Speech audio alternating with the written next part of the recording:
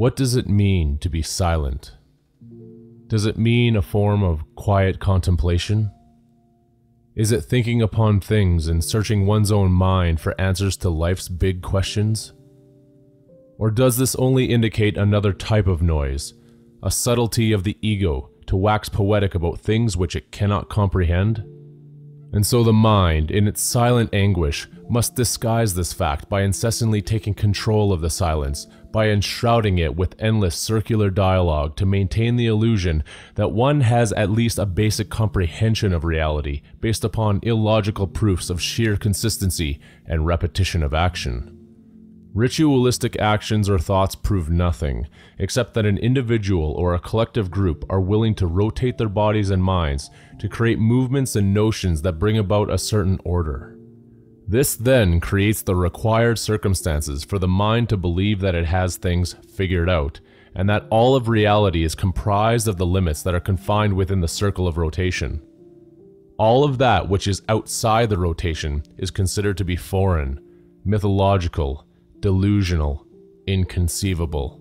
Thus, any who dare to quest beyond these confines and question the narrative are also considered delusional, conspiratorial, and even dangerous. It is easy to hear and repeat the things spoken about within the prison walls of this system because this maintains the collective ego and the safety net of the circle. Those who dare to venture outside of this system are seen as a most dangerous threat. The philosopher is the beginning of this threat, which is why a Socrates has to be sentenced to death. The mystic or sage who delivers a different message will always have to be crucified. The most dangerous element to the system of the circle is silence, because in true silence one can listen to nothing and therefore hear everything. In silence, the circular narratives are seen for what they are shadows to be chased after in an endless loop. In silence, there can be instruction. In silence, the student is ready and the master appears. An individual or collective can delude themselves into believing that there is somewhere to go in a circle, but as the journey unfolds and reaches its inevitable denouement, there will be the realization, at least to some, that there is nowhere to go. We have reached the end, which is just back to the beginning birth, life, death, rebirth. This is what makes it a game. All games are loops, which is why they can be played over and over again. The game exists. It is designed, it has rules and boundaries. Of course, within the game are the players, referees, and the audience. The players are given a side to be on, and on the other side is the enemy. And this is seen as real with thoughts and emotions that create notions of validity in regard to these feelings. Those who are in the game never want to think that their emotions are invalid because they are playing the game to win, no matter what the cost. Those in the game do not even want to believe that it is just a game. The noise of the game is loud, and its fundamental premise is about getting the most goals or points. All of life is a game of goals and the desire to attain them. Create a goal, chase it, win the points, create another goal, chase it, win the points. Enough of these self fulfilled prophecies, and one is seen as potentially winning the game of life. It becomes games within games. These desires destroy the master, and the student seeks out their purpose in an endless pursuit of these goals, listening only to themselves or to others doing the same. The pupil remains blind. Silence is impossible in a sea of noise. Silence only becomes possible when one sees the game for what it is, sees the players, the referees, the audience, sees the rules and boundaries and the circular nature of the structure, sees that these are all just illusions and that one is simply chasing after their own shadow. Attachment is the ultimate weapon against the enemy of this house. Attachment negates silence because there is so much noise created with all that one becomes linked to. Attachment, by its very nature, requires choice, and therefore manifests polarity, which creates division. Division becomes conflict, and the eternal struggle carries forward. Ultimate detachment can never make a choice of this person over that one, and is therefore able to empathize with everything. Can it be seen through this that God, therefore, can never have a chosen people? Those caught in the noise of the larger game and their own smaller game are unfortunately unable to see this, and will therefore continue to ride the circle. The analogy holds true, and after all games are over, there is declared a winner and a loser, and the two sides become unified in their agreement to have played it in the first place. They shake hands and thank each other for the competition. God shakes hands with the devil. It is time to reset the board and begin another one, a different one. The basis will be the same, but the theme will change. A new world will have to be created. A new world will need to be born. And everything that is done must be done symbolically as symbols are the language of the universe. The big question to the attentive is why? Why all of this? Why the game? Why is there life and death? Why becomes the most fundamental question. It is a haunting question, too, which is often dismissed as redundant or too complex to delve into by any who just want to get back to the all important business of running in the circular human race circular mindset, circular actions. This is how judgment operates, along with its counterparts such as prejudice, racism, and choice. Choice is pain, even or especially when the choices are not your own. Imagine the feeling of only ever being considered as a second choice or an alternate option. Perhaps for many hearing this, it has been your experience. Perhaps it has been your only experience. Within these previous statements is a profound truth to any who have the ears to hear it. In silence, there is empathy, and within that silence, there can be felt an overwhelming magnitude of pain within this world, within the earth itself, and within its inhabitants. The answer to this question of why is found within this pain, because the pain that is here requires great healing, and healing takes time. Time creates the circle, and what can potentially be perceived as an endless work. It is unfortunate that the truth of this great work has been discovered by certain members within it, and is used as an advantage for so called personal gain and selfish ambitions. They see the healing process as being futile, and have therefore relegated themselves to being permanent fixtures in the game. The truth has made them jaded and nihilistic. Nevertheless, the process continues because it must. In this, there is no choice, just as with breathing or with life and death. A breath in and a breath out. Life, then death. Life, then death. Magnitude or volume creates an escalation of pain. This is mathematically obvious. The more minds that have pain, which is all minds in various degrees, the more pain there is within the construct. Larger numbers create more confusion, and out of that confusion there is eventually disorder. Without any control whatsoever within that disorder, there would inevitably be chaos, and from that chaos, an ensuing nightmare. There are those who ask how to be free of this system, yet bring more confusion into it. A blatant contradiction if there ever was one. Those who have chosen not to add to the confusion are more in alignment with the healing process. There is enormous spiritual pain in moments of great transition.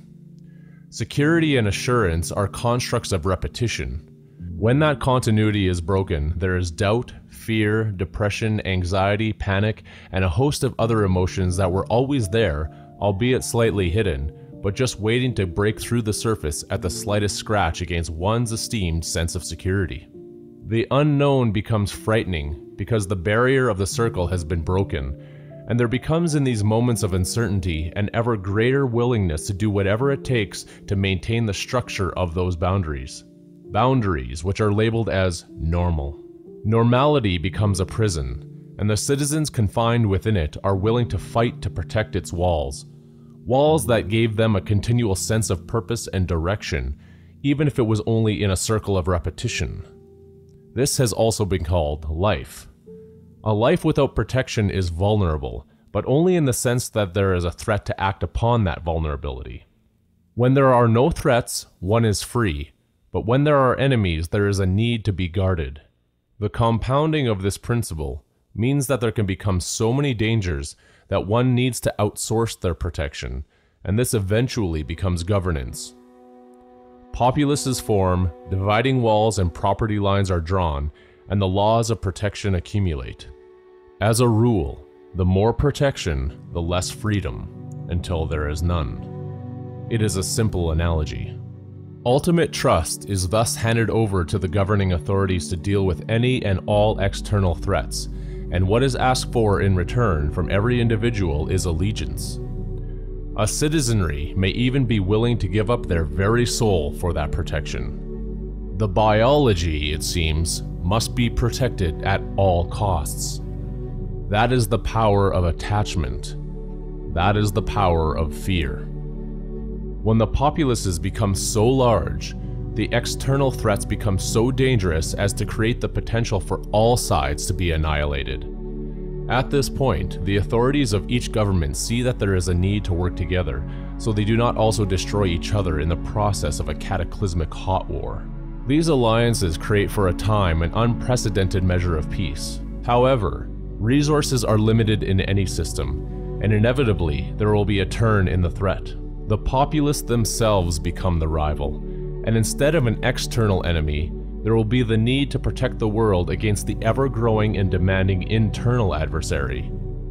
Every peak is followed by a valley. At this point, a Trojan horse of sorts is necessary. The potential adversary is now regarded as being absolutely anyone. Therefore, the forms of protection will turn from the external to the internal.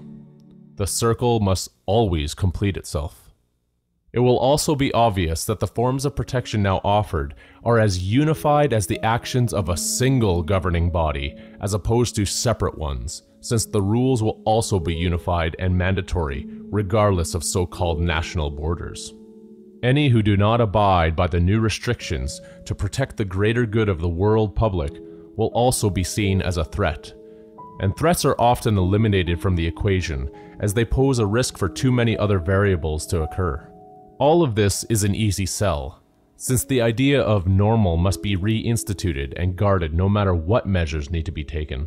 It matters not what normal looks like at this point, only that the measures of protection are enforced for the good of everyone. Normal thus becomes despotic, since everything becomes unitarian. If everyone is collectivized, the notion of individual freedom is quashed. Duality becomes singularity. Two visions become one. It is the beginning of a perfect vision. It is the beginning of a new world. The question to be asked is, why is division always equated with freedom? The proof of this is devastatingly obvious. Create a world by destroying it, and within this equation, humanity itself becomes the ultimate paradox. It should be impossible that 1 equals 0, yet here we are. Within this equation are all the ingredients necessary to facilitate the experiencing of the ultimate limits of both pleasure and pain. Pain is the trade-off, since the pleasure seems to be worth the price. Nobody, it seems, is trying to protect pain or the things that cause it. Otherwise, what does healing even mean? Yet, what does pleasure mean without the comprehension of pain? It is this pleasure that is desiring to be protected, and there is a hefty price for this protection, and at some point, that price needs to be paid. The questions to be asked at this point are, who is the one that has sent the bill? What is the price, and how is this hidden price tag supposed to be paid?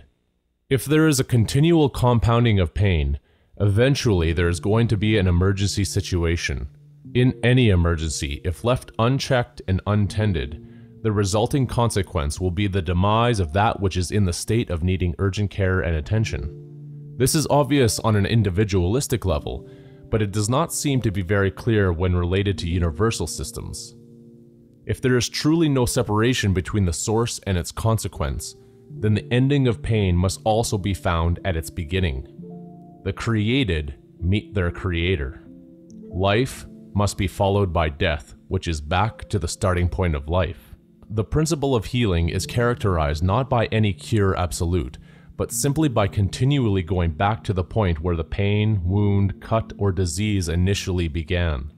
Time, which is the healer, begins and yet it also ends, exactly at the same moment it began, and therefore becomes a paradox, trapped within its own contingent affirmation. Again, nowhere to go. Pain and pleasure, the wound and the healing, are two aspects of the same coin, and the one cannot happen or exist without the other. It is the denial of this which creates continuity and the need for the circle and the eternal game. How then can anyone possibly be protected from destiny? To outsource one's protection for scant surety within a temporal existence is a grandiose absurdity. Any who argue in rage to defend that choice are concealed from the fact that there is no protection from ultimates, no matter how many taxes are paid or guns are in the armory. When presented with this, denial itself becomes the greatest protector. Knowledge becomes pain, and ignorance becomes bliss. Silence becomes truth.